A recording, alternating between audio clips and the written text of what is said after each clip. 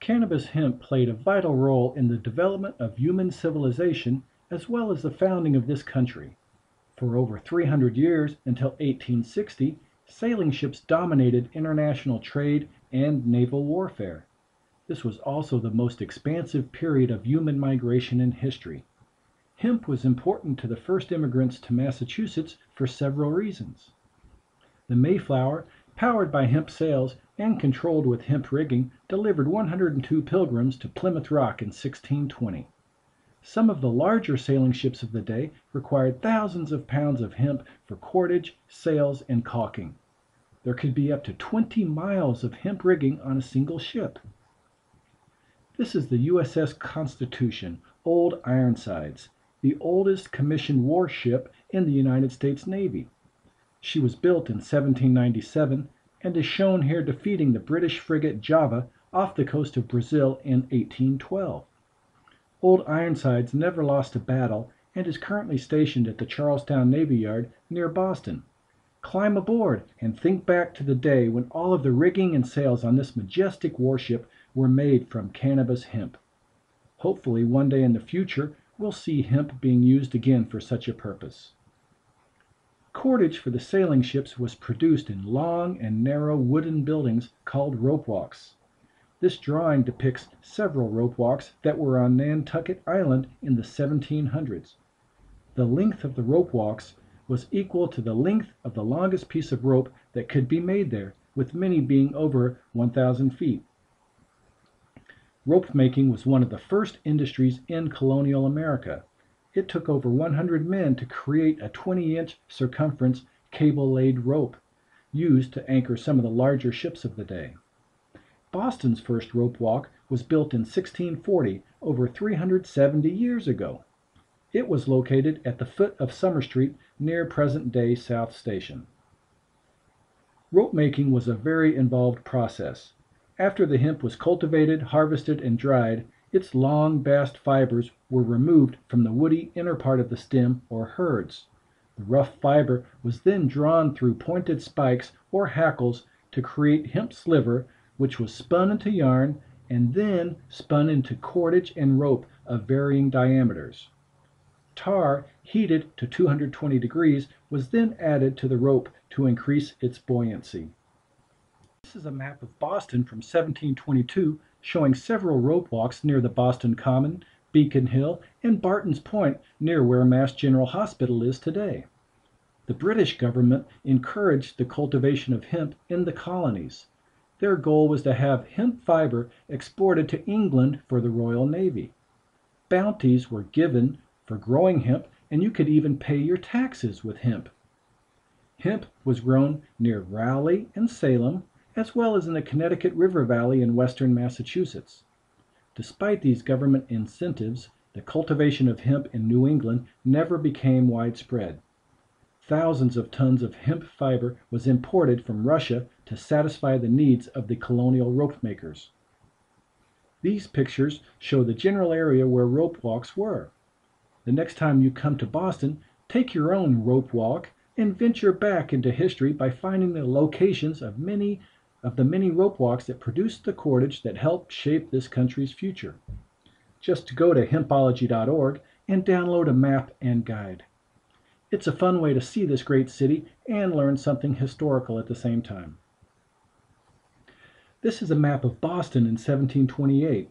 It shows the location of a group of rope walks situated along Pearl Street in what is today Post Office Square in Boston's financial district.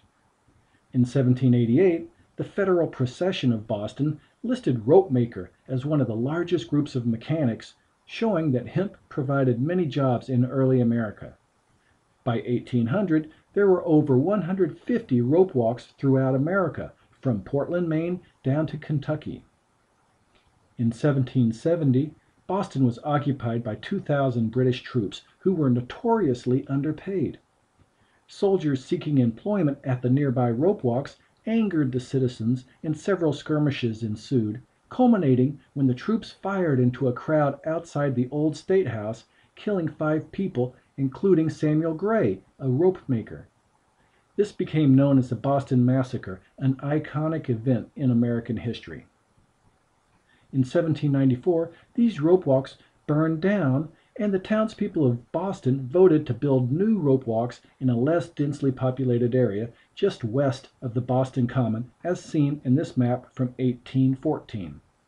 One of the conditions placed upon the owners of the new rope walks was to build a seawall or dam to protect the land, thus beginning the encroachment on the Back Bay.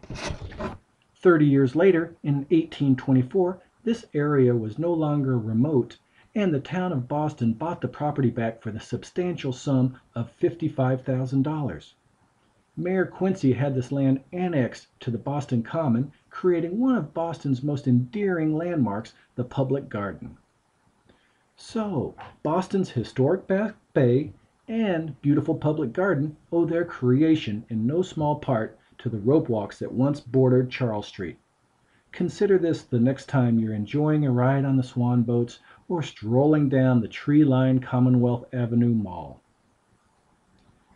Rope walks inspired Henry Wadsworth Longfellow, the most popular American poet of the 19th century, to write a moving poem titled The Rope Walk. In that building, long and low, with its windows all a row, like the portholes of a hulk, Human spiders spin and spin.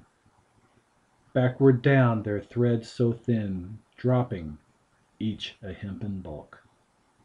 At the end an open door, Squares of sunshine on the floor Light the long and dusky lane, And the whirring of a wheel, Dull and drowsy, makes me feel All its spokes are in my brain.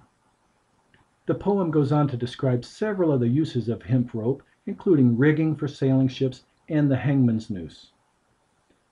Boston's continued growth made finding land for rope walks problematic. As a result, the Plymouth Cordage Company was founded in 1824. Hemp fiber was shipped from Boston to Plymouth, where it was spun into rope and shipped back to Boston for sale and distribution. The Plymouth Cordage Company operated for 140 years and at one time was the largest cordage manufacturer in the world. An entire rope walk was moved from Plymouth to the Mystic Seaport Museum in Connecticut. You can visit Mystic and check out the rope walk and actually see how the hemp fiber was hackled and spun into cordage for the sailing ships of yesteryear. The fact that this rope walk was moved all the way from Plymouth to Mystic highlights the importance of rope making to the shipbuilding industry. The 45 acre site of the Plymouth Cordage Company has been turned into the Cordage Commerce Center, which is home to over 60 businesses and organizations, including Plymouth Rock Movie Studio. It is also the last stop on the MBTA's Old Colony commuter rail line, so you can take the T down to Cordage Park and visit the newly renovated Cordage Museum, where you can learn more about the history of rope making and view some of the artifacts of the Plymouth Cordage Company. In the 1830's the United States Navy decided that it needed to start making its own cordage, so they built a magnificent rope making complex in the Charlestown Navy Yard. This rope walk is made of granite and has a slate roof. It opened in 1837 and operated until 1971. It was designed by Alexander Parris, who also designed Quincy Market near Faneuil Hall. This rope walk had steam-powered rope-making machinery. Russian hemp and Manila hemp from the Philippines were the primary raw materials used. In 1840, in another effort to help create a domestic hemp industry, a contract was signed for 70,000 pounds of hemp fiber grown in Kentucky. Unfortunately, the fiber was rejected by the Navy because of its inferior quality, decimating the Kentucky hemp industry. Part of the Charlestown rope making complex includes a hemp house where they stored the massive amounts of hemp used, as well as a tar house where tar was heated in preparation for its application to the cordage. The hemp house has been renovated into very nice office space, although the tar house and rope walk still need to be renovated. Here you can see the one quarter mile in length rope walk from the Tobin Bridge. You can see the masts of the USS Constitution in the background. This historic landmark is a vivid reminder of the key role that cannabis hemp played in this country's history. While preliminary restoration studies have been performed, much more work is needed to fully restore this monument to its rightful place in the history of American industry, defense, and prosperity.